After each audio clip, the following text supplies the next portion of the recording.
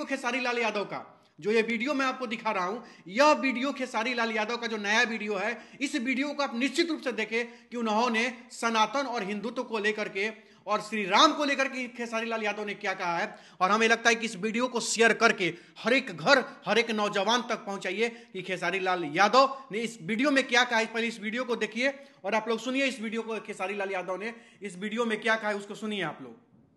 कल जो कह रहे हैं कि कल राम नहीं है कोई कह रहा है कृष्ण नहीं है कोई कह रहा है दुर्गा नहीं है तो मुझे लगता है तो ये भी तो सत्य है कि फिर कल आपके माँ बाप भी नहीं है भाई।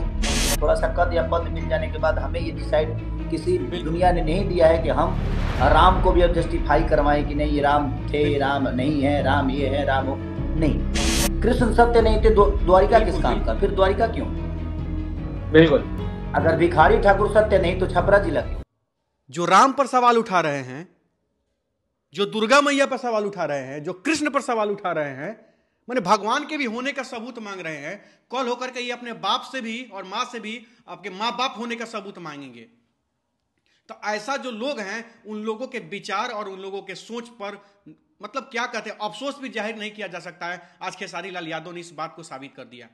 खेसारी लाल का यह स्टेटमेंट रूप, कलाकार के रूप में नहीं जी हाँ एक कलाकार के रूप में नहीं खेसारी लाल का स्टेटमेंट को सुनिएगा। एक बिहारी के रूप में इस खेसारी लाल का स्टेटमेंट सुनिएगा। एक हिंदुस्तानी के रूप में इस खेसारी लाल का स्टेटमेंट सुनिएगा। मैं पूर्ण रूप से खेसारी लाल यादव के साथ हूँ। मैं पूर्ण रूप से खेसारी लाल यादव की इन बातों का समर्थन करता हूँ।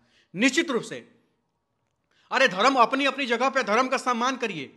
कोई किसी का धर्म का अपमान नहीं करेगा। कोई किसी का धर्म के खिलाफ नहीं बोलेगा। कोई किसी के धर्म को नीचा नहीं दिखाएगा। मत दिखाइए ना।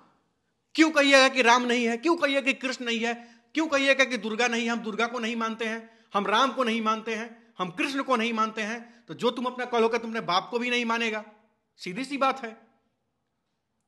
जो राम के होने का सबूत मांग रहा है, कल होकर को अपने बाप से भी बाप होने का सबूत मांगेगा। निश्चित रूप से खेसारी लाल यादव के इस स्टेटमेंट का हम समर्थन करते हैं, इस बात का हम समर्थन करते हैं। निश्चित रूप से। और तमाम बिहारी भाई को, एक एक बिहारी जो अगर बिहार से बाहर भी हैं, इस बात को सुनिए और खेसारी लाल के स्टेटमेंट को आप लोग शेयर करिए और सब तक पहुंचाइए और खेसारी लाल का समर्थन करिए।